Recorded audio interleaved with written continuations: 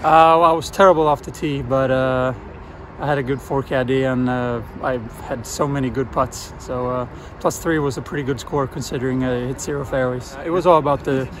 I said that we were going to start out you know, the first six holes and go as fast as possible, and if I did, if I played it right, would keep going. Like if I felt, if I if I would have felt that it was tough to get the ball in play and score, then I probably would have slowed down a bit. But I mean, I was one under through five, and I figured, oh, let's keep it rolling. I wanted to do two under two hours. I, I didn't realize we were able to do do it that quickly, but uh, I think it helped that I had a lot of one putts. Right yeah, I was jogging between every shot. Between every shot.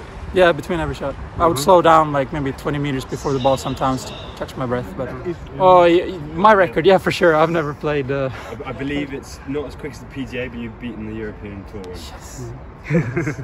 so yeah. all right, cool. Fantastic. Thank you guys. Fairly, I'm, not one of the fastest, but uh, I mean, I'm, I don't think I'm ever one of the slow ones.